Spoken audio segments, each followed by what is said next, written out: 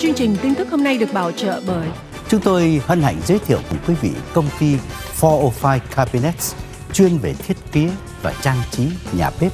Chin và Kim Thu Jewelry, nơi duy nhất bán vàng 4 số 9 có in hình bản đồ Việt Nam 714 985 9999 và 714 657 7866.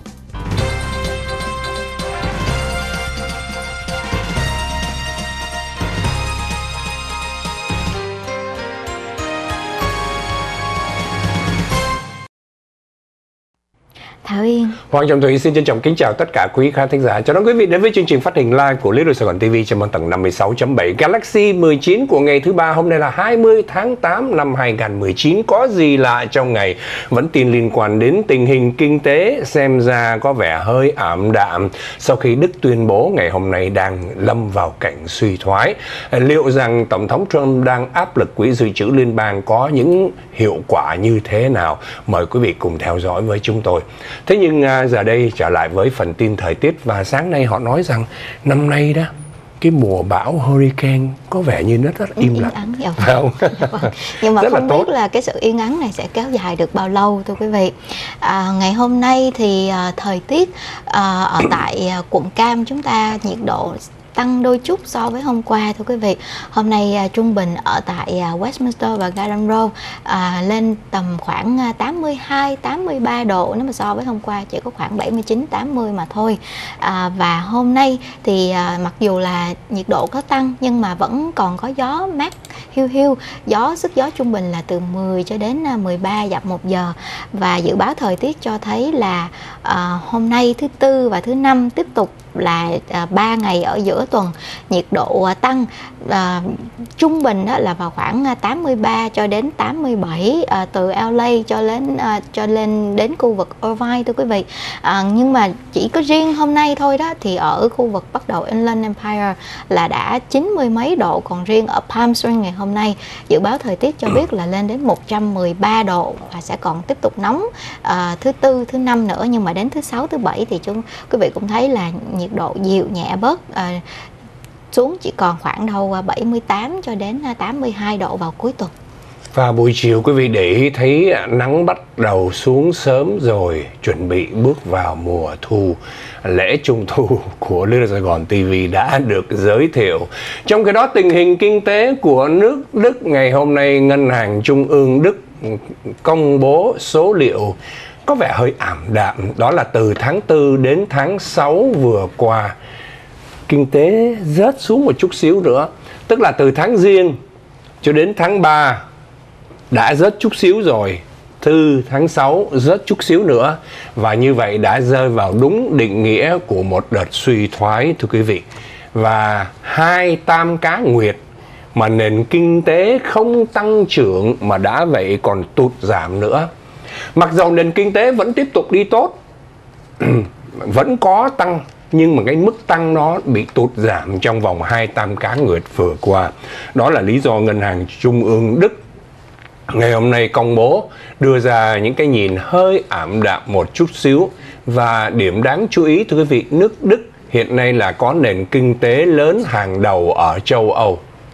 Cho nên Đức anh và Ý nữa cộng thêm nước Ý hiện nay tình hình chính trị đầy xáo trộn sau khi ông thủ tướng nước Ý tuyên bố từ chức ngày hôm nay tất cả những cái điểm này đã khiến tổng thống Trump vào sáng ngày hôm nay một lần nữa chỉ trích ông Jerome Powell, Chủ tịch Quỹ Dự trữ Liên bang Hoa Kỳ là có một cái nhìn rất là thiển cận. Tổng thống Trump dùng cái chữ thiển cận đối với ông Jerome Powell. Họ nói rằng, hãy nhìn à, tình hình kinh tế đi, tại sao mà cứ giữ nguyên cái mức lãi suất như thế này không cắt giảm thêm nữa. Tổng thống Trump nghĩ rằng việc mà Quỹ Dự trữ Liên bang cắt giảm thêm lãi suất lúc này sẽ giúp nền kinh tế phát triển trở lại có nghĩa là nền kinh tế Hoa Kỳ cũng đã tụt giảm trong hai tam cá nguyệt vừa qua thưa quý vị nhưng mà cho đến giờ phút này chưa biết được ông Jerome Powell sẽ có hành động như thế nào. Bởi vì ngày mai Chủ tịch Quỹ Dự trữ Liên bang Hoa Kỳ sẽ có bài diễn văn đọc tại diễn đàn kinh tế và qua đó ông có tuyên bố như thế nào về tình hình mà ông nghĩ. Nếu như à, có thực sự một cái sự suy thoái trong thời gian tới thì à, quỹ dự trữ liên bang sẽ có hành động gì? Với cái tình hình hiện nay hồi sáng tới giờ thì giới đầu tư có vẻ hơi lo lắng, bán tháo cổ phiếu xong lại vào mua cổ phiếu. Dow Jones lúc này đi xuống 10 điểm. Thưa quý vị, có lúc sáng nay xuống tới 7 80 điểm. Nasdaq xuống 2 điểm S&P 500 xuống 3 điểm. Tuy nhiên, tình hình này có thể thay đổi. Nếu như giới đầu tư nghĩ rằng quỹ dự trữ liên bang sẽ cắt giảm lãi suất, quan trọng là cuộc họp vào ngày mai thứ tư thị trường châu Á ngoại trừ Nhật Bản tất cả đều đi xuống nhưng mà xuống nhẹ thôi. Sau khi Hồng Kông đã tăng hơn 500 điểm ngày hôm qua Nikkei lên 114 à, Thượng Hải xuống 3 điểm.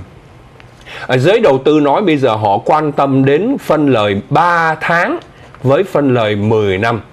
Nếu quý vị có đọc báo thì thấy rằng cái chữ liên quan đến cái curve invert này cái đường cong nó đi ngược chiều thì cái đường cong tự thần đối với nền kinh tế là như vậy. Trước đây thì người ta so sánh đường cong của 10 năm với 2 năm. Bây giờ thì hơi cách nhau xa một chút xíu. Nhưng mà nếu so sánh 3 tháng này thưa quý vị, quý vị mua phân lời 3 tháng bây giờ là 1,9 trong khi 30 năm là chỉ có 2.0 mà thôi mà khi hai cái đường cong này nó đảo ngược như vậy là suy thoái đã đến. Dầu xuống 81 sen 55 đồng 40 sen, vàng lên được 1 đồng 1512 đồng 60 sen. Dạ vâng, à, thưa quý vị, được biết là vào ngày hôm nay thì à, phi trường quốc tế San Francisco chính thức uh, có cái uh, cái cái chính sách là họ sẽ uh, cấm cái việc bán các loại chai nước nhựa plastic water bottle ở tại cái phi trường này bắt đầu vào sáng ngày hôm nay rồi thưa quý vị. Uh, trong cái nỗ lực là À, giảm thiểu rác thải mà đặc biệt là rác thải nhựa à, của con người đối với à, môi trường. Thì à, được biết là trước khi cái lệnh cấm những cái à, chai nước nhựa này thì à, một thời gian ngắn trước đó phi trường quốc tế San Francisco họ đã cắt giảm hẳn uh, cái số lượng mà tất cả các cửa tiệm nhà hàng uh, đưa ra đối với hành khách uh, với cái uh, napkin khăn giấy và uh, ống hút bằng nhựa thì những cái thứ đó đã bị cắt giảm rất là nhiều. Nghĩa là họ không có tự động đưa. Chỉ có khi nào mà quý vị uống những cái loại nào mà cần thật sự cần thiết hoặc là quý vị hỏi thì họ mới đưa ra nhằm giảm thiểu cái việc đó. Thì theo phi trường San Francisco cho biết là uh, theo như một cái thống kê mà họ thực hiện suốt nhiều năm qua đó mỗi một ngày à, hành khách ở đây trung bình à, mỗi một ngày cái phi trường này đó à, họ bán ra là 10.000 chai nước bằng nhựa. À, chính vì vậy mà mỗi một năm chỉ riêng cái phi trường San Francisco này thôi à, đã tống ra ngoài đến 28 triệu pound rác thải nhựa. Và à, theo như họ tính toán thì cứ trung bình một hành khách mỗi ngày đi qua nơi này họ à, được, à, produce ra nghĩa là cái cái những cái thứ mà chúng ta xài như là uh, napkin rồi giấy rồi, rồi chai nước nhựa đó mỗi một người uh, quăng lại ở nơi này một nửa pound rác.